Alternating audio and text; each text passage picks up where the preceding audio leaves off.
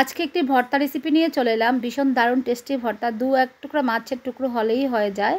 তো প্রায়শই বাংলাদেশের আপুরা এই ভর্তাটা করে। আমিও অনেক আগে একবার করেছি। অন্যরকমভাবে আজকে আবার করলাম। ভালো লাগলে লাইক শেয়ার করে দিও।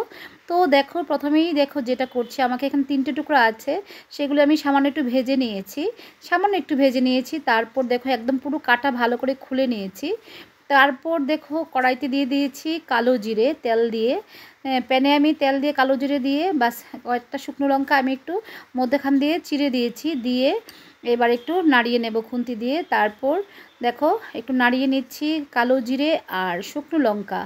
তারপর যেটা দেব এটা কিন্তু খুব টেস্টি একটা রেসিপি তোমরা গরম ভাতের সাথে ভীষণ ভালো লাগবে। এখানে দেখো পেঁয়াজ, রসুন আর কাঁচা লঙ্কা আমি এখানে চিড়ে রেখেছি, তো সেটা আমি দিয়ে দিচ্ছি। পেঁয়াজ, রসুন আর কাঁচা লঙ্কা। দেখো, দিয়ে আমি আবারও খুন্তি দিয়ে নাড়িয়ে নিচ্ছি। আর ভিডিওটি ভীষণ ভীষণ ছোট। তোমরা পুরো দেখার চেষ্টা করো। আর আমার ভিডিওগুলি এমনিতেও খুব ছোট। তো রেসিপিটি কিন্তু অসাধারণ। বাড়িতে অবশ্যই তোমরা করতে পারো। তো আমি এখানে ধনেপাতা ইউজ করিনি। দেখো, এবার দিয়ে দিচ্ছি মাছের যে যে মাছ কাটা ছাড়িয়ে রেখেছিলাম, এই মাছগুলো।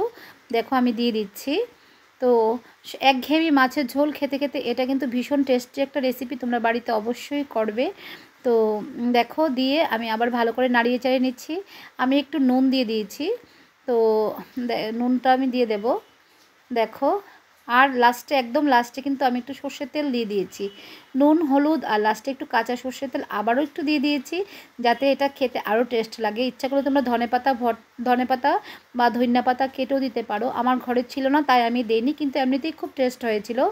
তো এই ছিল আজকে রেসিপি কেমন লেগেছে তোমরা অবশ্যই জানাবে। তো চলো আজকের মতো ভিডিওটা এখানেই শেষ করছি। সবাই খুব খুব খুব ভালো থাকো, সুস্থ থাকো আর ঘরে অবশ্যই এই রেসিপিটি করে খেও।